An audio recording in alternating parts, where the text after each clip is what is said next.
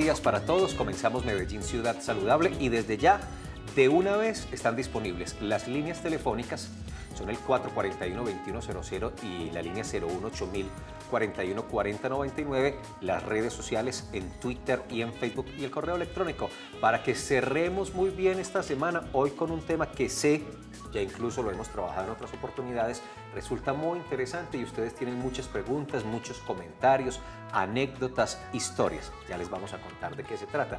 Doctora Fanny, bienvenida, muy buenos días, ¿cómo está? Buenos días, Felipe, muy bien, muchas gracias. Bienvenidos también a todos ustedes. Muchas gracias por la compañía en este programa que es para hablar de salud, para opinar y para traerles una información importantísima sobre el tema, el Día Mundial de la Salud Ocupacional y también sobre la jornada de vacunación de mañana que queremos seguir reforzando. Quiero recordar que si bien todos los días son temáticos, en Medellín Ciudad Saludable siempre planteamos un tema que es como el tema grueso, el tema central, el que desarrollamos en cada emisión, pues el consultorio está abierto. Por eso la presencia de la doctora Fanny Isabel que nos orienta con su criterio y su conocimiento en el abordaje de cada uno de los temas de cada día, pero además disponible, porque a veces uno necesita una recomendación, una sugerencia se levantó y ese día tiene algún inconveniente, necesita una persona cercana, un médico cercano que le pueda dar una indicación.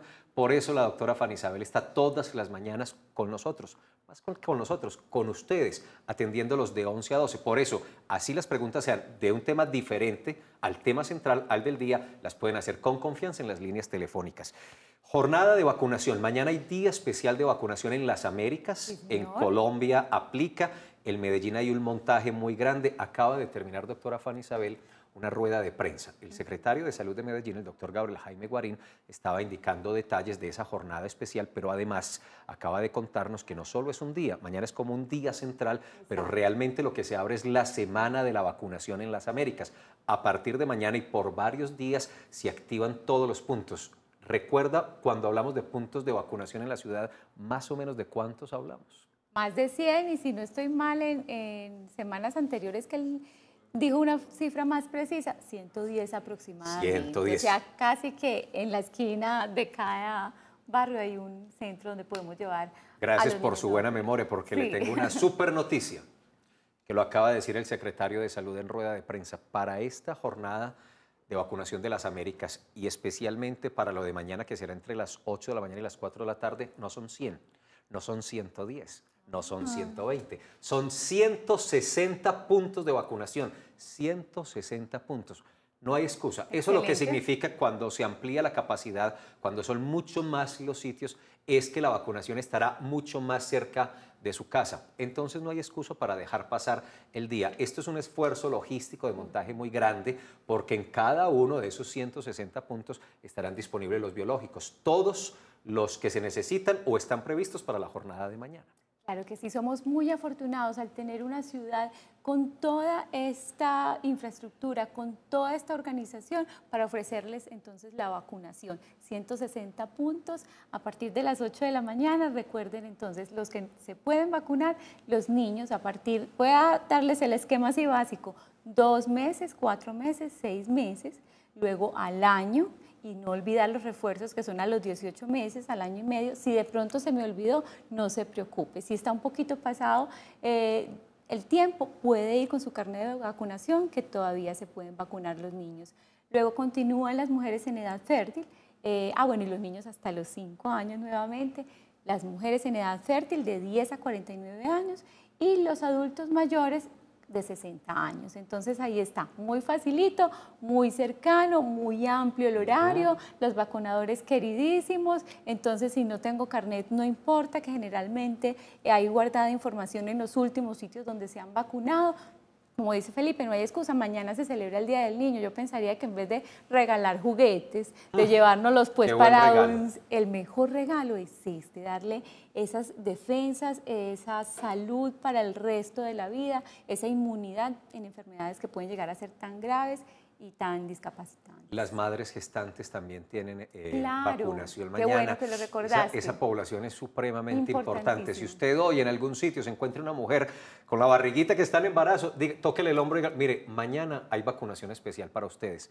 Asista, vaya, busque, pregunte, que cerquita hay un punto de vacunación. Invitados todos y ahorita les vamos a recordar. Que lo recordaste. Bueno, tema de hoy, el, por una convocatoria, una invitación que hace la Asamblea General de las Naciones Unidas los 28 de abril, 28 de abril es el lunes, hoy estamos a 25, 26, 27, lunes 28, es el Día Mundial de la Seguridad y la Salud en el Trabajo.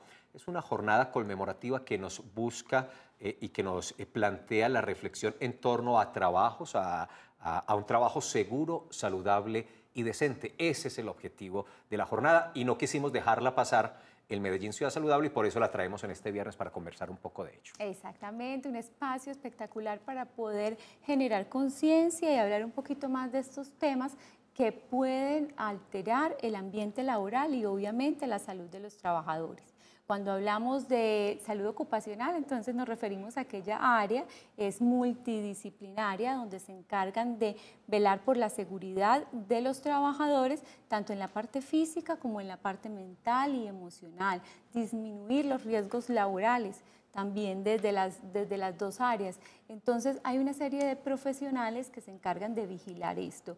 Hoy en día eh, cada vez eh, la normatividad quiere estar más cerca a los trabajadores y protegerlos cuando se encuentran en algún tipo de estos riesgos que acabé de mencionar. Somos afortunados en Colombia, doctora Fanny Isabel y amigos, porque contamos, por fortuna, desde el año 2006 con una ley específicamente dedicada al tema, la 1010. A pesar de ello, y de ser tal vez uno de los pocos países en América Latina que tiene legislación al respecto. Las denuncias, por ejemplo, por acoso laboral, lo que llamamos el moving en términos laborales, pues eh, poco se dan. No sé qué tanto han crecido en los últimos años. Eso porque se exigen pruebas. Hay que certificar, hay que documentar el acoso. No es simplemente de ir a quejarse por un supuesto abuso o porque el jefe o la empresa o la organización está haciendo tal o, determinada cosa. Hay que aportar elementos probatorios. Tal vez eso ha ausentado un poco a los trabajadores cuando se sienten acosados o cuando sienten que sus derechos están vulnerados. Hoy vamos a tocar este y otros temas para aprovechar esta conmemoración internacional. Por eso tenemos dos especialistas que nos acompañan desde la Secretaría de Salud para hablar del tema. Si tienen preguntas, que me imagino que, que sí surgen muchos frente a esto, nos pueden llamar a las líneas que ya conocen, 441-2100 y la línea nacional que es la 018 41 40 99. Es cierto que preocuparse por la salud de los trabajadores no es solamente preocuparse por él, sino también es mejorar la productividad de la empresa. Una empresa con trabajadores tranquilos, felices y sanos, obviamente va a tener un mejor desempeño y una mejor productividad. Los invitados están aquí al ladito, ustedes tienen las líneas telefónicas para participar. Por lo pronto, veamos el informe.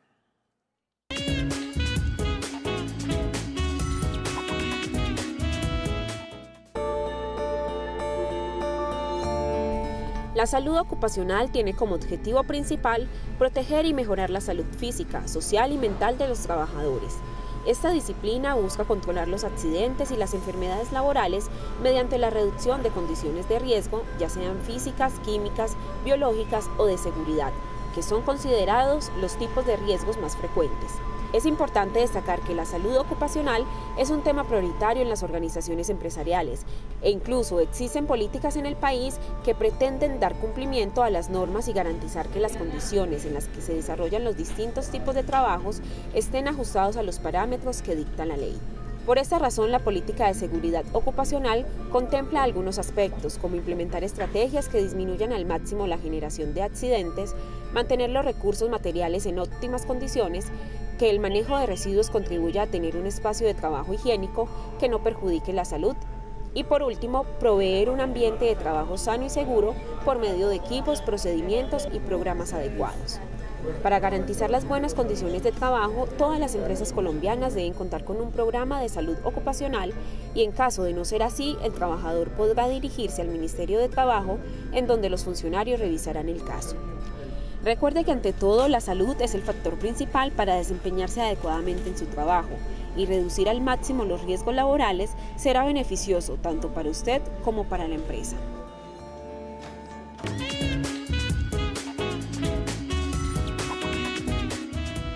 Un ambiente laboral inadecuado es aquel donde se pueden producir eh, inequidad, insultos, gritos, eh, maltrato físico o psicológico a alguno de los trabajadores y que puede llevar en casos muy graves a la depresión de, los trabajadores con el temor de que si de pronto se quejan, pues pueden perder el trabajo, que es una de las cosas pues, más graves. Pero esto que acaba de mencionar son las quejas más frecuentes que se presentan aquí en nuestro país ante el Ministerio de Trabajo. Les hablé de la ley 1010 de 2006. Al año siguiente de promulgada, de expedida la ley, inició el Medellín un trabajo muy interesante con un programa, doctora Fanny Isabel, que se llama Salud en el Trabajo, precisamente, y ha venido creciendo a lo largo y al pasar los años. El año pasado tuvo poco más de 300 empresas vinculadas, este año están trabajando con 400, en ellas se está revisando entre muchas otras cosas el funcionamiento de los comités de convivencia. Estos comités se crearon con una, con una ley y con un desarrollo del año 2012 y son fundamentales. Los invitados en un rato nos van a contar cómo se estructuran, qué papel juegan, qué deben hacer, a qué se tienen que dedicar. Bueno, es el tema de hoy, los invitamos a participar, nosotros sabemos porque ya en experiencias pasadas cuando hablamos del tema la respuesta de ustedes fue bastante buena. Hay muchas historias, esto está cargado de anécdotas, de situaciones, de quejas, de cosas que han pasado en las organizaciones. Queremos escucharlos en esta mañana. Claro, esto es un espacio para ustedes definitivamente y cada día nos conectamos más con eso, cada día nos sintonizamos, ustedes llaman, nos cuentan historias, opiniones que también les sirven a otras personas que están escuchando y viendo el programa. Es importantísimo darle, eh, enfocarnos en esta parte, dedicar este día a hablar de esto y saber reconocer cuando hay factores de riesgos en una empresa y que el clima laboral eh, no está funcionando bien para poderlos detectar y poder trabajar en ello. Y yo espero, y es uno de los propósitos del programa, que esta emisión de hoy nos sirva para eso, para reconocer en nuestras organizaciones factores de riesgo. Les hablé de las líneas, las redes están listas, arroba salud Medellín, hay una interacción tremenda muy chévere en las últimas horas a propósito del tema de vacunación. Está mm, el Facebook, la, página que es Salud, Secretaría de Salud Medellín. Y para consultas y propuestas más reposadas, más pensadas, más tranquilas, el correo electrónico. Claro que sí, como tú lo dijiste, esto es un consultorio. Si ustedes me quieren hacer alguna pregunta del tema de salud, del tema de hoy, eh, o de cualquier otro, me pueden escribir a medellinsaludable.telemedellín.tv. Con el mayor de los gustos, con mucha disposición, van a tener su respuesta al día siguiente. La doctora Domínguez y el doctor Torres ya están. Vamos a saludarlos para que ustedes también los conozcan. Muy buenos días. Buenos días. Doctora Sonia. ¿Cómo, está? Doctora, doctor, mucho gusto. Primero las damas. La doctora Sonia Domínguez Nieto ya alguna vez estuvo hablando de estos asuntos con nosotros aquí en Medellín Ciudad Saludable, es enfermera profesional, ella es especialista en gerencia en salud ocupacional y especialista en gerencia de la calidad. El doctor Idier Torres Guerra es psicólogo, es magíster en salud ocupacional y especialista en salud del trabajo. Dos invitados de lujo para hablar de este tema, porque además el doctor Torres es consultor de la OIT, la Organización Internacional del Trabajo. Doctora Domínguez, bienvenida, muy buenos días. Muy buenos días, Sergio, ¿cómo estás? Gracias por acompañarnos. Ya alguna vez habíamos hablado de estos temas, ¿cierto? Claro que sí. Ya nos habíamos sentado a conversar del asunto. Doctor Idiar, ¿cómo está? Bienvenido. Muy bien, muy bien, muchas gracias. Muy contento de que este tema eh, esté dándoles esta importancia y este tratamiento nos adelantamos a la conmemoración, que reiteramos es el lunes, pero siempre buscamos no dejar pasar estas fechas para hablar de estos asuntos. Nosotros dimos al comienzo unas puntaditas en torno como a la definición de qué es la salud ocupacional o la salud y la seguridad en el trabajo, pero nos gustaría escucharlos a ustedes para que nos amplíen ese marco teórico para la conversación. Ok, muchas gracias. En la Secretaría tenemos un programa que se llama Salud en el Trabajo, que lo venimos desarrollando desde el año 2007 en compañía de un grupo de profesionales también que hace parte de la Facultad Nacional de Salud Pública. Cada año hemos ido aumentando la presencia ante la ciudad con un grupo de empresas a las cuales hemos desarrollado unos diagnósticos muy específicos de factores de riesgo. La razón de estar acá precisamente es porque nos llama la atención al resultado del año pasado que no se había tocado en años anteriores las conformaciones del comité de convivencia por la importancia que tiene ese comité dentro de las empresas. Resulta que encontramos un porcentaje bastante representativo para el número de población, que apenas fueron 300 empresas, pero sí visualizamos 300 empresas con ese resultado, asumimos que de pronto si aumentamos la muestra, el resultado va a ser el número igual, pero el porcentaje va a ser muy similar. Nos dio el 76% de empresas que tienen conformados el comité de convivencia, pero en ejecución lo que pudimos evidenciar es poco o nada, por decirlo así.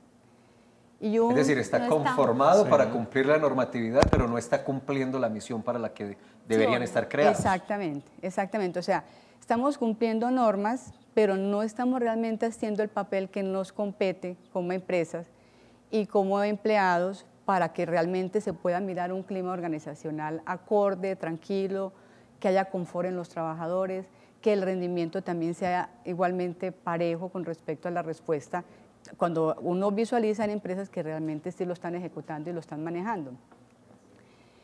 Por esa razón, eh, en el grupo comentamos y hablamos a nivel de la subsecretaría de tomar este tema, ¿cierto? Y hacerlo eh, visible a, la ciudad para que a nivel empresarial miremos, retomemos el tema, miremos la importancia de lo que es la conformación del comité de convivencia, no le tengamos temor a la conformación de ese comité, porque ese comité es precisamente es un medio que facilita la cercanía del trabajador al empleador, al mismo sistema de producción.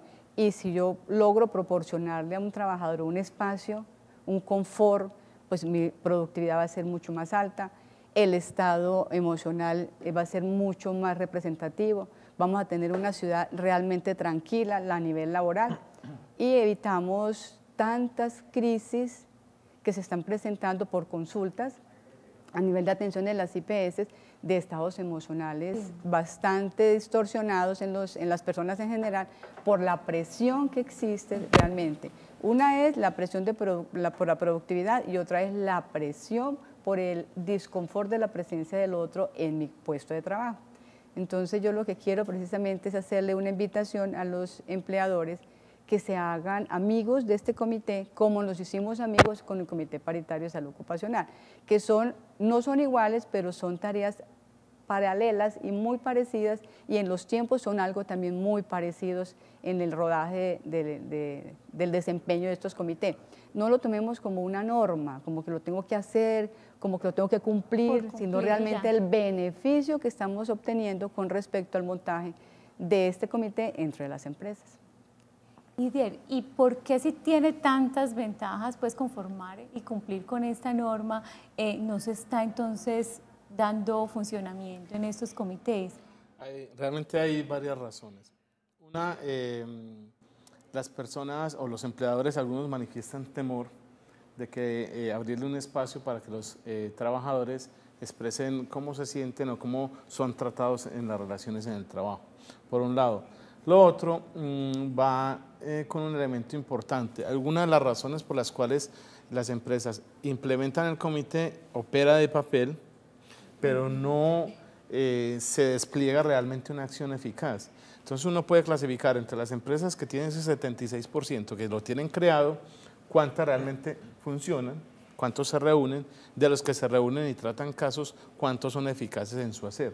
Hay un problema y es que la, formación y la capacitación de esas personas, porque el comité está conformado por personas de, de la misma empresa, claro. y no todo, es un tema un poco complejo y no todos están suficientemente capacitados. Entonces creo que ahí hay un tema importante y una oportunidad para que los empleadores le pidan a las ARL, a las cuales se encuentran afiliados, la asistencia técnica para la formación de esos comités para que operen de manera adecuada. Esa es creo que una de las principales razones eh, que hay allí para que eso no funcione de, la manera que se espera.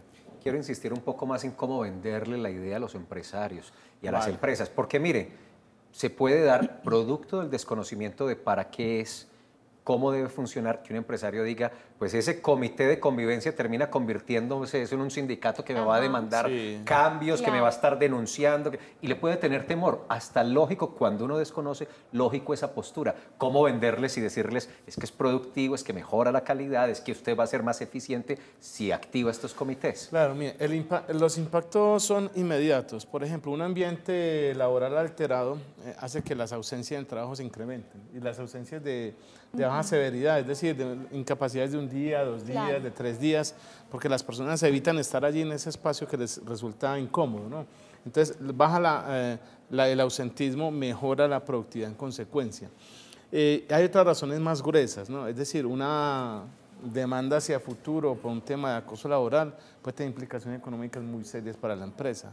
Es decir, la demanda de civil puede ser muy severa. Pero la principal razón es que un empleador eh, debe procurar que su ambiente de trabajo esté libre de riesgos o que los riesgos que se presenten los pueda controlar. Y el, y el, acoso laboral se trata de un riesgo de, que se deriva de la manera como se tratan o cómo son las relaciones en el lugar de trabajo. Entonces una responsabilidad del empleador es imponer que la manera como se tratan en, los lugares de trabajo sea respetuosa, sea un trato digno, que no implique eh, lo que usted decía al principio, el maltrato, la humillación y todo este tipo de cosas. Es decir, de esa manera él puede tener un mejor eh, productividad, puede tener empleados más comprometidos, puede tener elementos reputacionales mucho mejor y mucho más amplios, es decir, desde el punto de vista también de imagen corporativa lo beneficia. Es decir, hay un conjunto de, de, beneficios que el empleador a veces no lo ve más por el temor de qué va a ocurrir allí. Eh, dos, un comité de convivencia laboral no es un sindicato, ni, ni aunque allí hayan personas del sindicato actúa como tal, ¿cierto? Es un comité, como su nombre lo indica, donde van a tratar de una manera muy ponderada, de una manera muy concienzuda, sobre todo muy equilibrada, cosas que pueden afectar el bienestar de una persona o de un equipo de trabajo y su familia. Porque los acosos laborales, cuando no se tratan de forma adecuada ni oportuna, tienen consecuencias muy severas y en periodos muy cortos, que llevan a la muerte, al suicidio, problemas cardiovasculares, es decir, una serie de consecuencias que trae para la persona muy severas. Sonia, este acoso laboral entonces debe cumplir, para definirlo, como con una serie de eventos que se repiten, eh, un evento aislado no necesariamente hace parte de esta condición. Cuando se empieza a presentar el acoso laboral, el, el que acosa, el acosador, no lo hace una vez cada mes, sino que esto es recurrente. En la medida en que es recurrente, va haciendo presión en el que se siente acosado. Entonces va a llegar un momento en que tarde que temprano, ante esas vivencias, ante esa exposición, las personas van a sentir eh, posibles efectos en la salud que únicamente las podemos evidenciar como acoso laboral siempre y cuando las consultemos, pero como nosotros tenemos una mecánica y es la automedicación. Y fuera de eso no, no conversamos, no ponemos en manifiesto por el temor de, pérdida, de que me saquen, de que me sancionen, de que tal cosa. Y uno cree que con el silencio puede mejorar. Eso cada vez va cogiendo más fuerza como una bola de nieve hasta el punto de que ya las personas empiezan a somatizar situaciones bastante graves como las que habla el doctor Idier y llega a un punto en que la persona toma decisiones ante, ante la situación él mismo, pero lo guarda en silencio. Entonces, una de las de lo que nos habla la norma es que nosotros debemos de pedir un apoyo.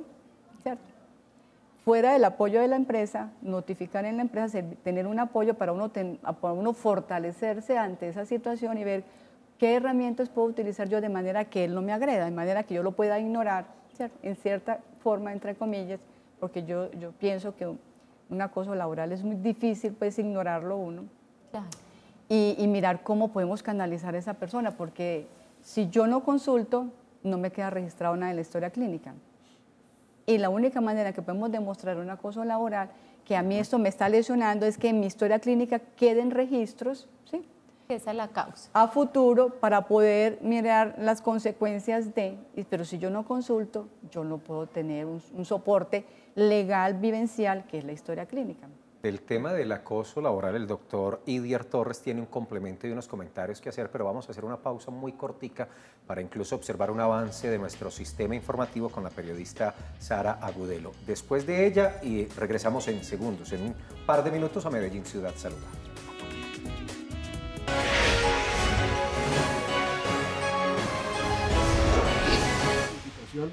por cuanto la licencia de construcción se solicitó en este momento, a esta hora, en la alcaldía de Medellín, se da las conclusiones de la Universidad de los Andes frente a las edificaciones Continental Towers y Ascensi. Vamos a ver entonces cuáles son esas conclusiones y qué es lo que va a pasar con estas edificaciones. Eh, permiten concluir que los niveles de seguridad y de funcionalidad de la edificación no están acorde con los niveles mínimos aceptables por la normativa y por lo tanto esto permite concluir a la universidad considerando además el colapso de una parte del edificio llamada etapa 6 y la demolición intencional de la etapa 5 por los altos niveles de riesgo que presentaba en su momento, que las condiciones estructurales del edificio se perdieron, la capacidad de resistir tanto fuerzas verticales como gravitacionales se afectaron fuertemente y por lo tanto la parte de la estructura que queda en pie y que corresponden principalmente a las etapas 1 a 4 siguen siendo, em, sigue siendo una estructura que está en alto riesgo de colapso y por lo tanto no debe ocuparse eh, hasta tanto no se resuelvan las consideraciones específicas de riesgo que se han identificado y manifestado claramente en los informes técnicos de la universidad. En resumen, esa es, digamos, la, la conclusión principal en relación al edificio Space. El estudio que se presentó, definitivo y concluyente de la universidad, ha sido respaldado por los expertos internacionales que se incluyeron en el proyecto y que incluyen dos expertos eh, de Estados Unidos, un experto europeo y un experto eh, nacional local, los cuales han leído y han firmado la aceptación de las mismas conclusiones que establece la universidad y de cierta manera entonces validan las conclusiones y eh, los resultados fundamentales de este estudio presentado por la universidad que en este momento ya es final y concluyente en cuanto a sus conclusiones finales presentadas. Continuamos entonces con ya para hablar de los estudios que realizaron sobre los estudios que realizó la Universidad de los Andes con respecto a las otras dos edificaciones. Ahí veíamos que él estaba hablando sobre las conclusiones que ellos arrojaron de Space. Vamos a escuchar entonces cuáles son esas conclusiones. Bueno, con respecto a los edificios Continental Tower y Ascensi, y de acuerdo con el alcance establecido en el contrato con la alcaldía, la Universidad de los Andes hizo la recopilación exhaustiva de toda la información existente, particularmente la información oficial registrada en la curaduría y con base en la cual se obtuvieron las licencias originales de construcción de estas edificaciones. Las conclusiones basadas en el análisis que realiza la universidad, la cual a su vez está basada en esta documentación, son similares para las dos edificaciones, Continental Towers y Ascensi las dos edificaciones diseñadas y construidas con principios estructurales similares, consideraciones y suposiciones básicas de diseño similares, presentan las dos una serie de deficiencias estructurales y eh, presentan simultáneamente incumplimientos graves a la normativa aplicable, que de nuevo es la normativa NSR 98, que fue la normativa que estaba vigente en el momento de la eh, de obtención de la licencia de construcciones correspondientes. Los incumplimientos tienen que ver de nuevo con la falta de capacidad de las estructuras para resistir tanto las cargas gravitacionales como las cargas sísmicas. Los incumplimientos en cuanto a capacidad se presentan tanto en elementos estructurales principales como columnas y vigas, como en elementos eh, como son los muros de mampostería reforzados que se presentan a nivel de los sótanos y a nivel de las pilas de cimentación que corresponden a los elementos que transmiten las cargas hasta el nivel del terreno. En resumen, este, estos, digamos, incumplimientos generan una situación de alto riesgo igualmente tanto a cargas gravitacionales como sísmicas. Sin embargo, considerando que el nivel de Em, de incumplimientos no es tan grave como en, la, en el caso del edificio Space, considerando además que las condiciones de incumplimiento se localizan no en la generalidad de los elementos estructurales, sino en algunos elementos estructurales particulares. La universidad ha conceptuado que es posible en este caso considerar la posibilidad de un estudio de rehabilitación. Este estudio de rehabilitación o reforzamiento eh, sería necesario adelantar eh, de manera muy cuidadosa y detallada, eh, teniendo en cuenta las condiciones actuales en las que se encuentran los edificios. Esto quiere decir que se requiere en primera instancia estudiar de manera cuidadosa y detallada cómo es la situación actual del edificio en términos de su capacidad y resistencia ante fuerzas gravitacionales y sísmicas, para entrar a proponer un eventual reforzamiento que incluiría nuevos elementos estructurales, nuevos elementos de cimentación que permitan reforzar Ahí veíamos entonces al responsable de la investigación por parte de la Universidad de los Andes diciendo las conclusiones que ellos arrojaron o que arrojó el estudio sobre Asensi y Continental Towers. Él acaba de decir que eh, hay problemas en las cargas, en la sostenibilidad de las cargas. Sin embargo, que como el nivel de incumplimiento no es tan alto, esos edificios pueden repotencializarse, lo que quiere decir que no es necesario demoler. A las 12 y 55 del mediodía tendremos ampliación de estas y otras noticias. Continúen con Medellín Saludable en Telemedellín, aquí te ves. La Fundación Prolírica de Antioquia en sus 20 años inicia su temporada internacional de zarzuela y ópera Ciudad de Medellín con Luisa Fernanda de Federico Moreno Torroba, el 25 de abril en el Teatro de la Universidad de Medellín y 27 de abril en el Teatro Metropolitano. María Lao de Ernesto Lecuona, 8 y 9 de mayo, Teatro Metropolitano. Artistas invitados de Perú, España, Cuba y Colombia, Orquesta Filarmónica de Medellín. Informes 444-7808 o tuboleta.com.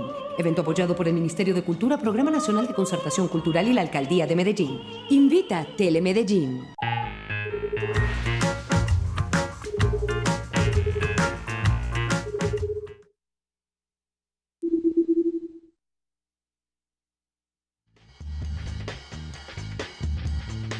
Después del avance de las noticias, regresamos a Medellín Ciudad Saludable. Hoy estamos adelantándonos a la conmemoración del Día Mundial de la Seguridad y la Salud en el Trabajo, una propuesta que, como les decíamos al comienzo, hace la Asamblea General de las Naciones Unidas. Y tenemos ya televidentes esperándonos, doctora Fanny Isabel. Sí, señor, nos encanta que, opinen y escucharlos. Está Darío Higuita desde Caldas. Buenos días, Darío.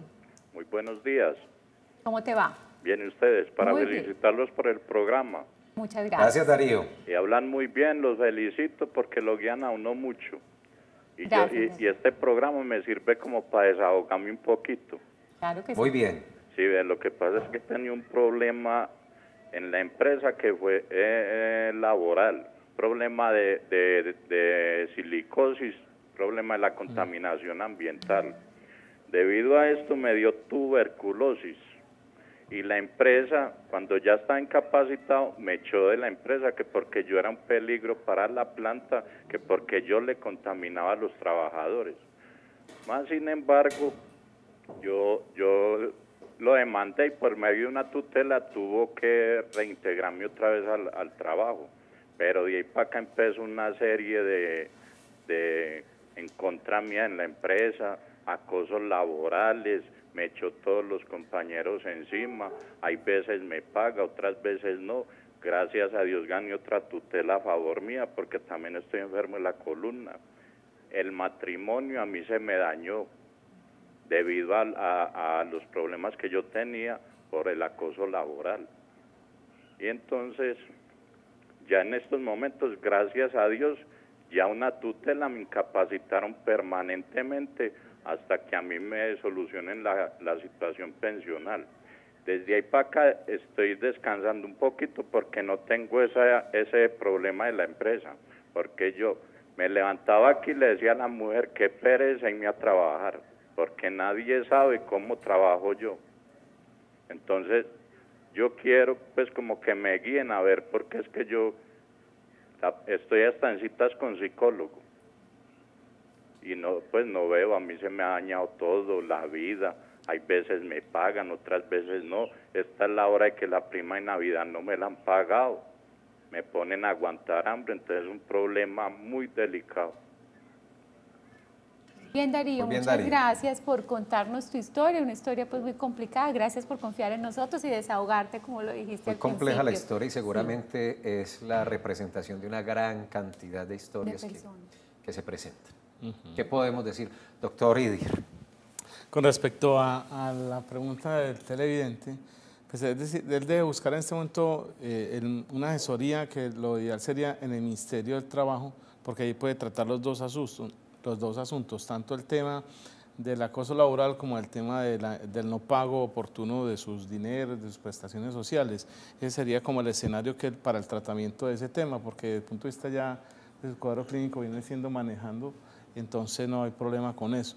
Yo les sugeriría que buscara eh, el ministerio eh, para que mm, ellos intercedieran con el empleador para el manejo de estos temas. ¿Y hay sede del ministerio en Antioquia, en Medellín, o tiene que ir a Bogotá? No, no, no, no. Él puede consultar aquí en la sede de Medellín eh, perfectamente, o en Caldas si hay una oficina ahí del ministerio, que no estoy seguro si hay ahí, pero puede hacerlo aquí en Medellín sin ningún problema. La de Medellín todavía queda por la Universidad de San Buenaventura, sí, por San, San Benito. exactamente, por ahí mismo queda, aún queda por ahí. Yo quería eh, precisar algo respecto de qué es y qué no es acoso laboral. Sí. Eh, el acoso laboral es como la forma más extrema de, degradación de la vida en el lugar de trabajo, de las relaciones en el lugar de trabajo. Pero existen como unos grados intermedios, es decir, lo que caracteriza un acoso laboral y lo diferencia de un conflicto en el lugar de trabajo es la repetición o la continuidad en las conductas. Eso es lo que diferencia un conflicto de un acoso laboral, la, repetición en las conductas.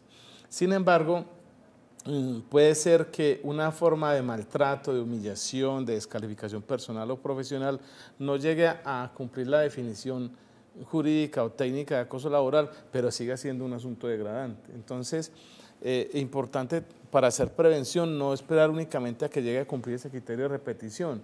Es decir, el maltrato, la humillación en cualquiera de sus formas de presentación, lo que comenta el, televidente que lo aislaron del grupo social en la reunión de trabajo, que es una forma muy típica de hacer acoso laboral, aunque no llegue a ser repetido, eh, también es una cosa que merece la atención porque trae efectos negativos. Entonces, el acoso laboral, si bien es un conjunto de acciones que son repetidas y continuas como característica diferenciadora, también hay otras que, no siendo repetidas, tienen que ser objeto de atención. Eh, que me humillen y me maltraten eh, hoy con palabras soeces, que mi compañero, mi jefe me diga cosas horribles, debe ser objeto de atención, así no llegue a ser un acoso laboral. Decíamos al comienzo que por fortuna Colombia cuenta con la ley 1010 y con una normatividad que protege a los trabajadores, pero que una de las dificultades era demostrar ese acoso. En estos casos, ¿cómo demostrarlo? ¿Qué puede hacer? Porque si uno va sin pruebas... Mira, es que em, la norma en Colombia ofrece, digamos, para la persona que se siente acosada o que es acosada, porque hay una diferencia importante, le ofrece dos escenarios posibles. El primero, buscar una solución Mm, por la vía de la conciliación y para eso están los comités de convivencia laboral. Es decir, el comité de convivencia laboral es un escenario donde eh, los empleadores le brindan la oportunidad al interior de la misma empresa para buscar la solución a esa situación y que no vuelva a ocurrir. ¿verdad? Pero si no encuentra oportunidades ahí, también puede hacerlo en el Ministerio del Trabajo, en la personería o en la Defensoría. La persona puede ir ahí y ahí le dan asesoría. Pero si definitivamente eh, la persona considera que ahí no va a encontrar una solución, puede ir donde el juez laboral, en el sector privado o en el sector público a la Procuraduría, fundamentalmente. Entonces tiene esos escenarios. Pero antes de llegar a ese punto, eh, donde ya se presentó el problema, pensando en la prevención, el empleador tiene que implementar otra serie de mecanismos. ¿cierto? Eh, uno de ellos es establecer lo que se denomina un comité de convivencia un comité, eh, perdón, un, manual de convivencia. Un manual de convivencia no es más que un escrito que conviene entre el empleador y, los trabajadores, donde se eh, discriminan y se redactan qué cosas no van a ser permitidas aquí. Entonces, por ejemplo, en este lugar de trabajo no va a ser permitido que cuando yo le haga una evaluación de desempeño a un trabajador no le diga es que usted es muy bruto porque decirle usted es muy bruto es una forma de, descalificarlo personalmente, eso no es una evaluación de desempeño. Entonces, hay otra serie de mecanismos que el empleador debe implementar antes de que se presenten los problemas propiamente dichos. Démosle paso a otro televidente, desde Niquía nos está llamando Nelson Yepes. Bienvenido, Nelson. Muy buenas, sí, ¿cómo está? Muy bien, muchas gracias. Ah, yo llamaba porque es que desde que yo trabajaba en una empresa que se llamaba ahora se llama ahora CCA con CENU entonces yo tuve, sufrí un accidente laboral que se llama epicondilitis medial lateral. Mm. Y la empresa eh, me echó, me despidió inmediatamente. Entonces yo por medio de una tutela gané el reintegro. Y ya hace tres años me tienen en la casa acá sin, sin laborar, que me pagan el sueldo, pero no me quieren ver en ningún momento allá. ya han pedido permiso en el Ministerio de Trabajo para echarme y el Ministerio le ha dicho que no.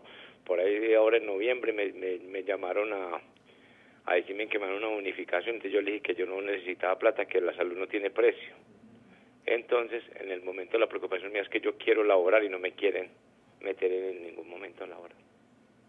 Claro, Nelson, pues él habla de una epicondilitis, que es una enfermedad en el codo que es muy incapacitante, pero entonces habría posibilidad de que él trabajara en otra cosa donde, donde no necesariamente su enfermedad se complicara. Es que el reintegro con una limitación funcional como la que él refiere, eh, mm, la ley determina que debe buscársele una reincorporación, una readaptación laboral eh, para otro tipo de oficios o actividades. Mm, obviamente no conoce uno el caso en todo su detalle, pero si ese es el diagnóstico, las posibilidades de reubicación mm, pueden existir alternativas. Obviamente hay que el proceso de producción si lo permite, ¿no? porque hay procesos de producción donde los movimientos en el caso de Elson van a ser siempre, no lo van a facilitar, pero las, la, posibilidad de explorar una, una readaptación de, su lugar de trabajo es factible. Doctora Domínguez, usted nos habló ahora del programa Salud en el Trabajo de la Secretaría de Salud de Medellín y que este año ya están trabajando con unas 400 empresas. Además de revisar la conformación, el funcionamiento de los comités de convivencia, ¿se hace algo más partiendo de, esa intervención que hace el programa?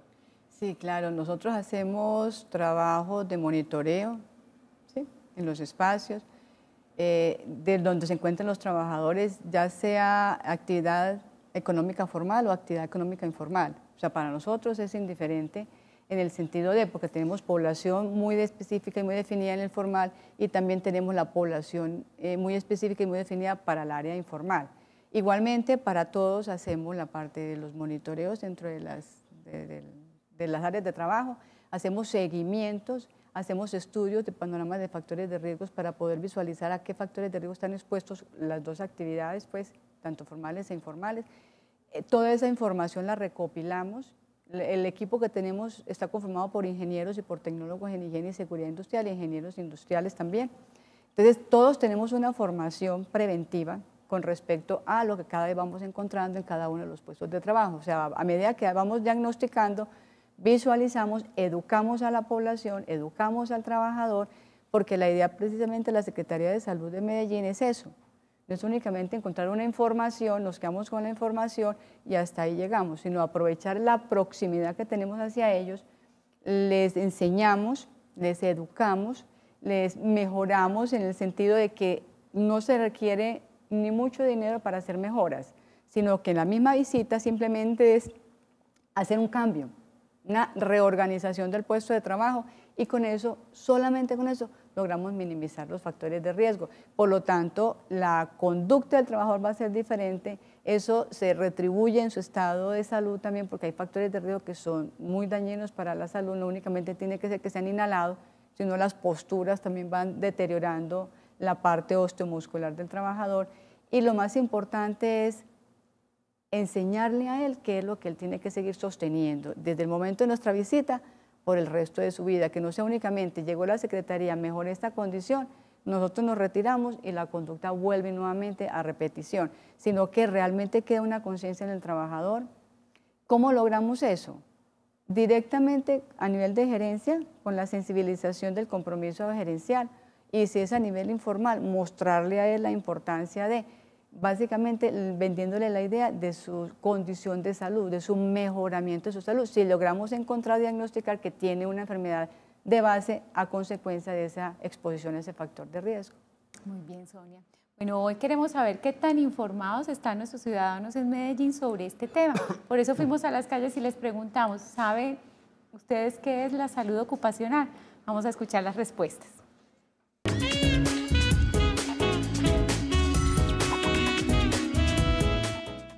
Bueno, la salud ocupacional se refiere a todos los elementos que nosotros, como personas que en algún momento vamos a laborar, tener todo para que no caigamos en riesgos profesionales. Salud ocupacional es, la protección de, o sea, lo que uno puede, le pueda suceder en el trabajo, pues pienso yo. Es el área de la salud que se encarga del bienestar del trabajador en las empresas o en en el ejercicio de su trabajo diario. No, no, no tengo ni idea. A lo que tenemos nosotros como seguridad social, la pensión, todo eso, lo que envuelve todo eso. Toda empresa debe tener a sus trabajadores afiliados a riesgos laborales. Y, ya esta, esta empresa que presta este servicio debe ir a dar charlas en las empresas sobre cómo tener una buena salud y, y cómo deben hacer cuando tienen un accidente laboral. No, no sé, ni idea. Pues yo tengo entendido que será la salud para uno ir a que lo atiendan, estar bien o que le correspondan bien a uno. Es como la salud de las personas que trabajan en determinada área. Pues salud ocupacional tiene que ver con el bienestar de los trabajadores dentro de las empresas, donde las empresas se ocupan de, en cada una de las áreas de los trabajadores para que ellos no, no les pase nada tengan todos sus elementos de trabajo, su protección, todo lo que tiene que ver con el bienestar y la salud de los trabajadores.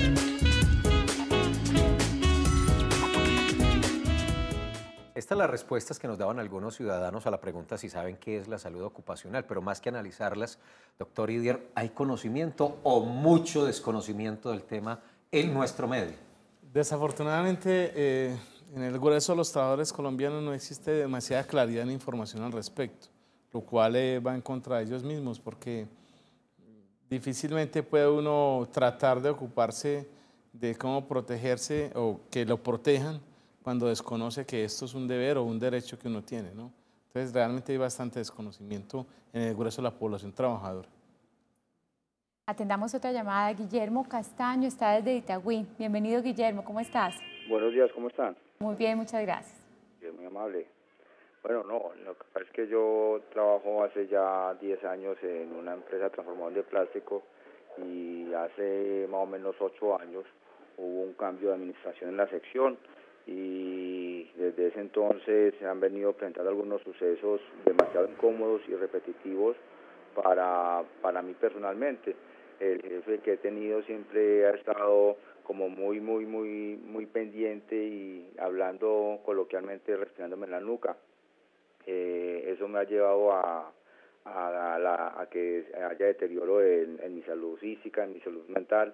Eh, eh, tuve un resto de, eventos a nivel cardiovascular, se me, la, presión arterial se me elevó, mm, tuve, me detectaron un, bloqueo en una válvula, eh, al último me dijeron que, que me remitieron a la psiquiatría, que porque eso eh, prestaba, un cuadro de ansiedad por, por demasiado, eh, por carga laboral.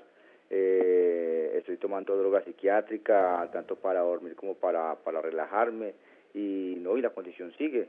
Eh, entonces no sé si eso sea un tema de acoso laboral o sea de ambiente laboral, eh, no sé cómo, cómo interpretarlo. Guillermo, una pregunta. ¿Usted ha documentado todo este procedimiento, esos diagnósticos, los conceptos que le han dado de toda esta situación, de estos padecimientos que se han desatado producto de lo que usted considera un acoso laboral? esto está consignado en las historias clínicas que de, la, de la EPS, tanto la EPS como en, eh, en, los, eh, en el médico pues, eh, psiquiátrico que, que, que, me, que me tiene pero en realidad en la empresa se ha, se ha hablado a nivel de reuniones internas, se ha suscitado y se, se han hablado los temas, pero de ahí no ha pasado. No se ha tomado, no, no, no, se ha, no he dicho directamente que me siento acosado laboralmente, simplemente se han expresado los inconvenientes y lo, lo, lo que se, se tiene directamente con, con el ambiente laboral y con el jefe del área. Bien, Guillermo, muchas gracias por llamar, contarnos la historia y participar. Doctor Idier, ¿cansó a escuchar a Guillermo? Sí, sí, con sus planteamientos. algunas cosas. Eh, la pregunta yo me, yo me hago es si, si en, la empresa de, él existe un comité, ¿no? Es que es lo que hablábamos al principio. A veces algunas lo tienen creado en el papel, pero ni siquiera los trabajadores están informados de su existencia ni de cómo acceder a, a ese comité para presentar la situación, ¿no? Eso sería una cosa. Y la otra, qué tan eficaz, porque él decía que no, no hacen nada. Es decir, que él ha buscado eh, que la empresa conozca la situación y que la empresa no reacciona. Pues cuando la empresa no reacciona, los, eh, los trabajadores para proteger su propia salud y la de su familia, pues deben buscar mecanismos alternos. Es decir, buscar otras instancias como las que hablábamos hace un momento para que su caso sea atendido y evitar que el deterioro vaya progresando, porque va a ser más difícil cada vez. Cuando un comité de convivencia recibe un caso como este, como el que nos cuenta Guillermo, o alguna inquietud, ¿qué debe hacer? ¿Cómo lo gestiona? ¿Qué trámite hace? Bueno, con base en, los nuevos planteamientos, la queja debe ser por escrito. Sí, el trabajador debe elaborar un escrito. Debe radicar, pues. Es... Sí, hace un escrito, dice, a mí me está ocurriendo esto, esto lo viene realizando tales y tales personas desde hace tiempo, de esta y de aquella manera. Es decir, un escrito de esa forma, se lo entrega al comité, el comité una vez lo recibe, está en la obligación de estudiar ese contenido y de llamarlo a él para conocer y ampliar la situación y de llamar a los involucrados, es decir, a aquellas personas que se supone están ejerciendo estas conductas. El propósito de este procedimiento es que el comité plantee alternativas a las personas que están allí en esa diferencia o en ese conflicto para buscar una solución conciliada que debe ser por escrito. Si no existe solución conciliada al interior del comité de convivencia laboral, ese comité debe enviarlo a la siguiente instancia, a la instancia judicial. Por eso es que es muy delicado, porque la empresa en este momento queda responsable por acción o por omisión por no atender el caso y la pueden sancionar. Es una cosa muy importante que los empleadores tengan claro de eso. Es decir, ya no es tan fácil de que un empleador hoy diga, ustedes están muy grandecitos, un problema de ustedes dos, vea cómo lo resuelve. No, si es en el lugar de trabajo, él tiene el deber y está llamado a intervenir en esa situación. Entonces, ¿qué hace el comité? Recibe el escrito, lo estudia, llama a las partes, escucha a cada uno que tienen que decir y busca una solución conciliada que debe quedar por escrito para poder eh, determinar el paso a seguir. Esencialmente, la tarea del comité es evaluar ese contenido y buscar una solución para conciliar. Esa es su tarea esencial. Ahora vamos a un pequeño corte institucional. Seguimos hablando entonces de esos temas tan importantes a propósito del Día Mundial de la Salud Ocupacional.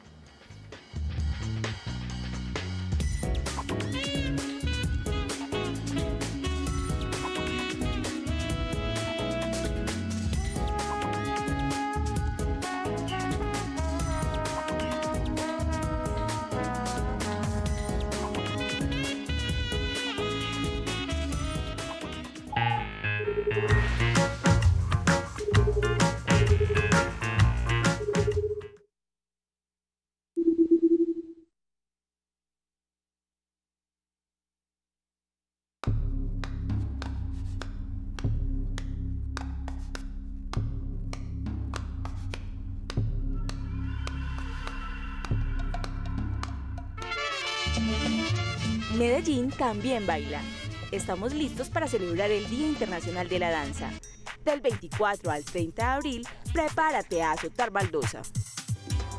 Podrás disfrutar de intervenciones en el Metro de Medellín, clases de baile y presentaciones artísticas en el Teatro Pablo Tobón Uribe. Celebra el cuerpo, celebra la danza. Mayores informes en el 444-4144, opción 4. Medellín todos por la vida. Cuando salimos a jugar a la cancha, nos alegramos al sentir el apoyo que se escucha desde la tribuna. Yo a mi equipo y al lado de mis padres, mi novia, mis amigos y mi hijo, me siento feliz al poder disfrutar de esta fiesta. Desde la tribuna animamos a nuestro equipo. Cantamos, brincamos, sufrimos, celebramos. Siempre estamos ahí para acompañarlos. En cada partido jugamos con amor a la camiseta, pero es un juego. Y la vida vale mucho más. Una fórmula sencilla de juego. Pasión más fútbol más convivencia igual a fútbol en paz. Yo amo el fútbol en paz. Medellín. Todos por la vida.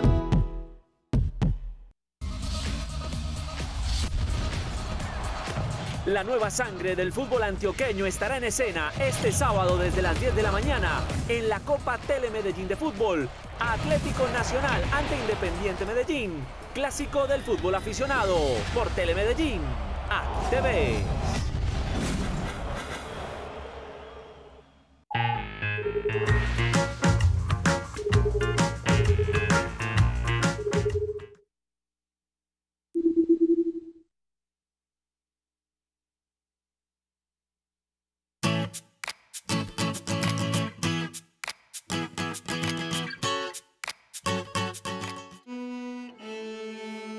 La música es considerada como uno de los lenguajes universales porque permite expresar sentimientos y distraerse.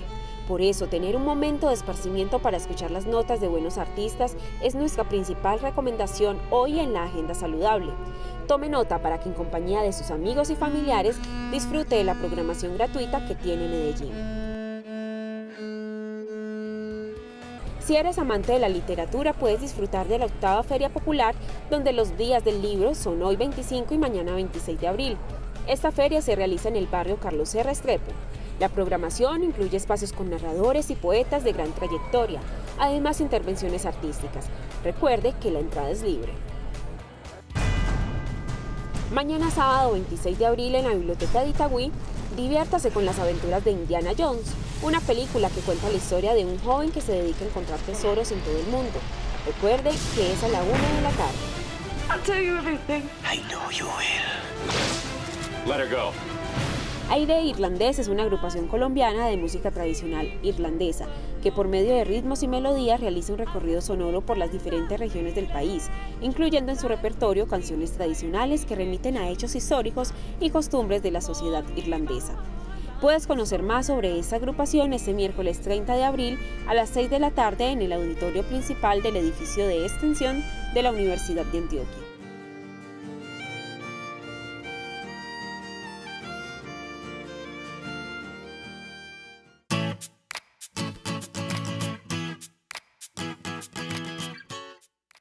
Múltiples actividades culturales, recreativas, deportivas en nuestra ciudad completamente gratis y obviamente no se nos puede quedar por fuera jornada de vacunación desde las 8 de la mañana hasta las 4 de la tarde para que también lo tengan en cuenta dentro de la lista de las cositas por hacer este fin de semana. Les tengo un dato y es que les hablamos de 160 puntos, hay tres o cuatro por lo menos en cada una de las comunas y corregimientos. Si usted quiere saber cuál es el sitio de vacunación más cercano a su casa o a su sitio de trabajo, llame a la línea Amiga en Salud 444-4448. Tienen el listado completo. Vea, yo vivo por tal parte en tal dirección, allá le dicen el más cerquita es tal y así se orienta muy fácil y no se pierde, va a la fija.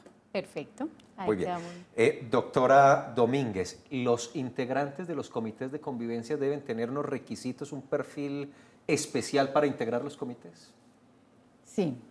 Igualmente, eh, me parece pues que para eh, poder estar dentro de este comité tenemos que tener en cuenta unas características especiales, no solamente que es por mi opinión, sino por normatividad como tal deben ser personas que tengan capacidad de liderazgo, que tengan capacidad de comunicación asertiva, que sean personas respetuosas, que sean equitativas, que tengan eh, un comportamiento dentro de la empresa acorde a la normatividad que en la misma empresa rige, que sean respetuosos con la parte del reglamento interno de trabajo, que no tenga llamada de atención en absoluto. Eh, ¿Por qué? Porque es que si yo no tengo un perfil así, yo no puedo ser totalmente imparcial ni puedo realmente ayudar a nadie. Estas características son muy especiales y el trabajador debe de sentir confianza también en el equipo que está conformando el comité de convivencia. Porque si él se siente tranquilo y ve que realmente es el perfil de esa persona, él va a llegar muy tranquilo también igualmente, porque sabe que su información va a ser confidencial. No se nos olvide que todo lo que nosotros manejemos en salud ocupacional, independiente que se escriba o no se escriba una historia clínica, es confidencial, porque se maneja la intimidad de los trabajadores, hay mucha información confidencial que no queda registrada en la historia clínica, porque la historia clínica la manejamos únicamente el personal de la salud y el comité lo puede conformar cualquier otra disciplina diferente a la nuestra. Entonces, eh, a nivel de las gerencias o a nivel de los empleadores deben de conocer, cuando ellos van a seleccionar el personal que les compete a ellos como empleadores, porque en la conformación el empleador tiene el derecho de nombrar sus representantes y los trabajadores igualmente, es la misma dinámica que hacemos para la conformación del copaso, ¿sí? él sepa a quién va a escoger, que realmente le cumplen las características, eh, que realmente él vea que sí va a estar tranquilo al entregarle esa confianza, que no se le vaya a convertir realmente en un problema porque si no tiene esas características, sino que al contrario se le va, va a ser mucho más difícil la situación para la empresa. De pronto una última preguntita muy cortica, doctor. Las ARL tienen un papel muy importante también en este en la salud ocupacional. Definitivo. Eh, las ARL tienen un rol eh, importantísimo en prestarle la asesoría y la asistencia técnica a las empresas para que puedan eh, ocuparse de este riesgo y de otros de manera mucho más sistemática y mucho más profesional. Entonces, las empresas o los empleadores que no sepan cómo hacer esto pueden pedirle a su ARL que le preste la asesoría técnica para... A veces se olvida que están ahí. Claro, Y, la, y la ARL le puede prestar ese servicio. Gracias, doctor Torres, doctora Domínguez, muy amables. Muchas gracias por acompañarnos. Terminamos esta semana, doctora Fanny Isabel. Nosotros vamos a regresar el lunes a las 11 de la mañana con un tema bien interesante. Claro que sí, es un tema bonito porque es una población que a veces se nos olvida que existe y que tiene grandes problemas de salud. Estamos hablando de la población privada de la libertad y cómo está la salud en este momento en esta ciudad. Un reto, un reto grande para, para los gobiernos. Qué bueno que vamos a hablar de eso. Nos vemos entonces el próximo lunes, 11 de la mañana. Que tengan un excelente fin de semana. No se les olvide la jornada de vacunación. No se pierdan la vacuna mañana. Sí, señor. Chao.